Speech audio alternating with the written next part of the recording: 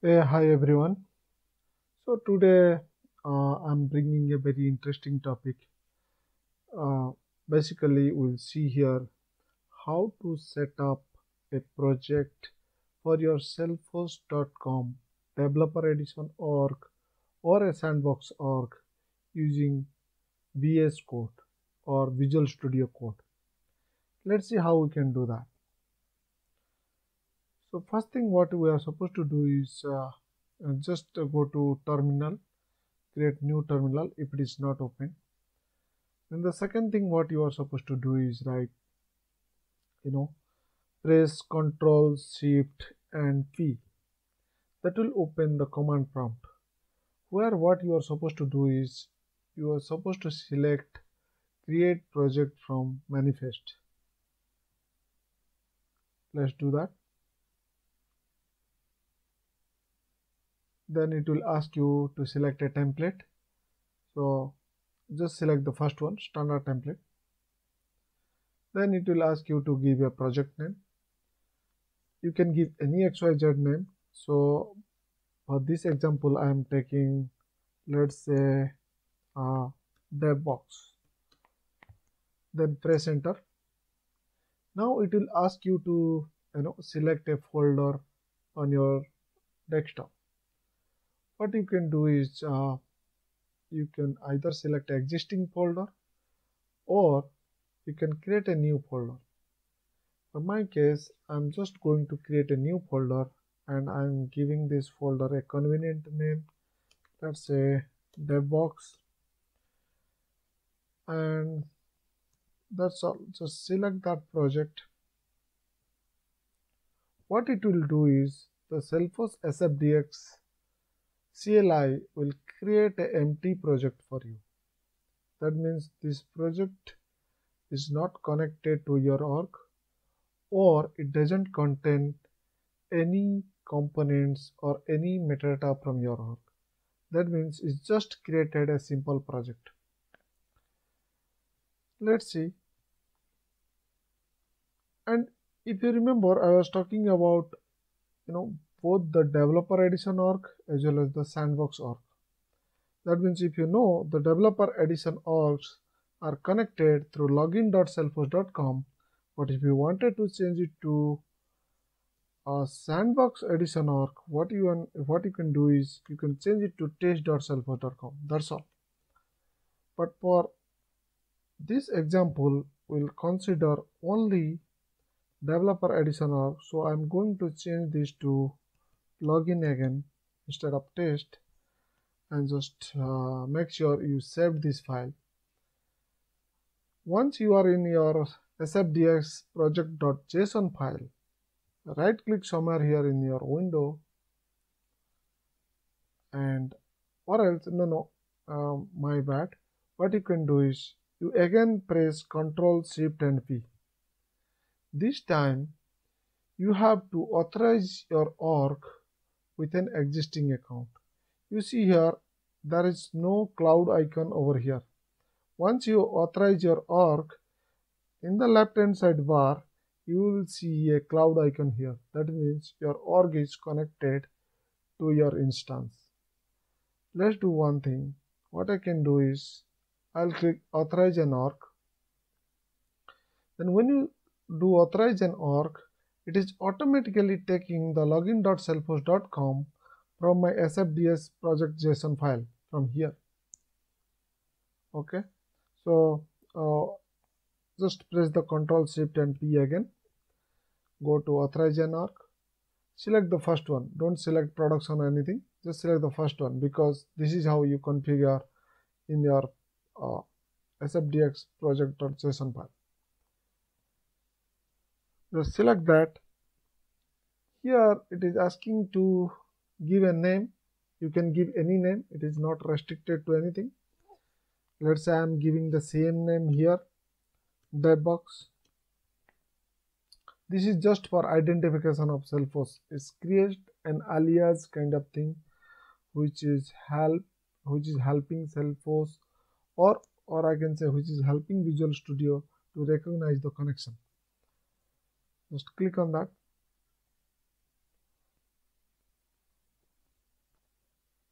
Now you see because of the Visual Studio Code login workflow it prompted me in my browser window to provide the Salesforce username and password.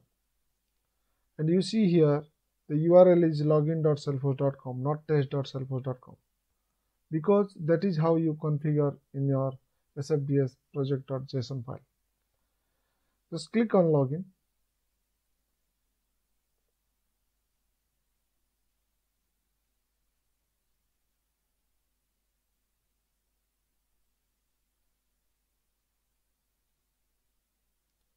Once you successfully logged in here, just come back to your window again, you will see that uh, you know authorization is successfully happened. And and here is one more thing you can see. There is a cloud icon here. That means your org is now connected to Salesforce. The next thing what I can do is still now I do not have anything. That means if I'll go to force-app uh, I wanted to expand class or I wanted to expand LWC or object you will see nothing is present okay? So those things we can extract through our package.xml file. Where this package.xml file present is that is basically inside your manifesto file. In this manifest there is a package.xml just open that. It's similar to the package.xml which you used for your eclipse or the ant script or any any kind of development purpose. It's just like your metadata tags which you wanted to extract. If you let's say you don't wanted to extract Visualforce pages you can remove this. Let's say you wanted to extract something which is not present in this file you can add that metadata component here. That is how you can add or remove metadata which is supposed to be handled through VS Code now once you are there in the package.xml file what you can do is just right click here and you will see there are two options. Deploy source in manifest manifest.org one more thing is re retrieve the source. So in this case my project is empty. So what i'm supposed to do is first of all i wanted to retrieve everything which is listed in my package.xml or which are listed in my package.xml okay let's do that. I'll, i'm going to click the retrieve option. And remember it will take some time. So it may take uh, two three minutes of time. Or it basically depends on how much uh, configuration or metadata you are uh, trying to retrieve from your org. So let's wait for that. Here i'm back again. You can see uh, all those metadata are now retrieved from the org. Is saying that you know retrieve source from org successfully run. So how I can check that? I can go to my class folder. I can see all the classes are present. I can go to my aura folder. I can, I can see all those aura components are present. I do not have LWC component in this org. I can see my objects are present. Oh I didn't try to extract the object there are some Visualforce pages, pages are there. Okay. So let's say I wanted to uh, create a LWC component. So what I can do is I can simply right click and create a lightning web component from here. If I'll click lightning web component it will ask me to give a name. Let's say I'm giving hello world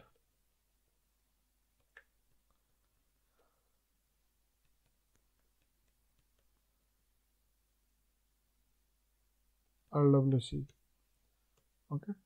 So it is asking me the location. It is trying to store that component. And it will take some time. And you see that component got created. In this component let's say I wanted to do something uh, I wanted to create a uh, track property. I can I can do one thing let's say I can import a track and I can do something like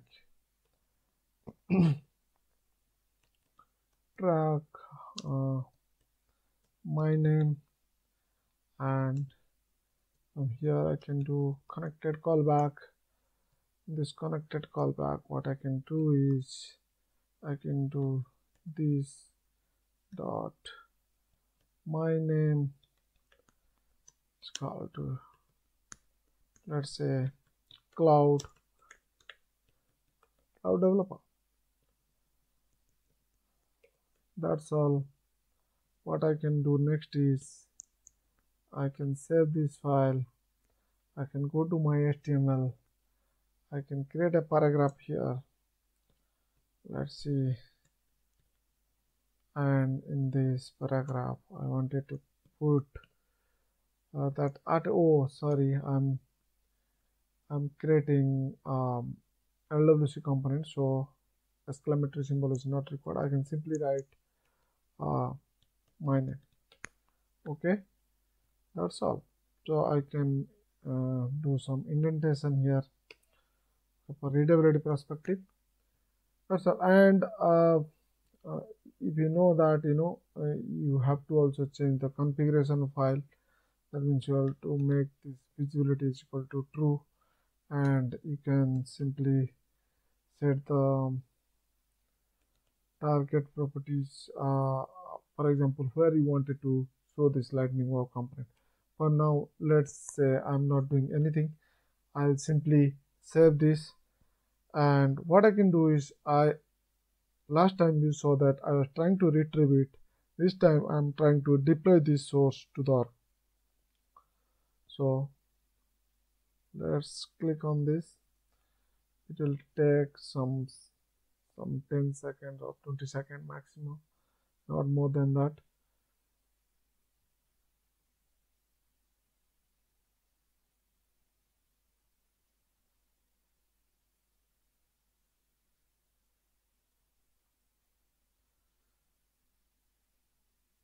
yeah you can see that the source code is now deployed to your org. One more thing I wanted to show you in Visual Studio Code or VS Code this cloud icon. Let's say some of the components you have in your org but you have not extracted through your package.xml but you wanted to play with that what you can do is you can simply click on this cloud icon. What it will do is it will try to extract all those metadata from your org and list out here. For example uh, in my case what what I wanted to do I wanted to uh, let's say um, retrieve some apex class which is not present in my project directory. I can take that and I can download that. I can either download one by one or I can do the entire list of classes directly from here so if you do that, you can see that particular thing in your project directory. If it is not present, this is how, let's say something you have missed out, you wanted to extract from your org, later on you can do it through this cloud org. I hope you enjoy this session. I think if you like this video and you wanted to see um, some kind of video like this, you let me know. I'll prepare and drop your comment feedback the comment box so that it will help me understand what the next I'm supposed to do. Thanks again. Thank you all. Bye bye.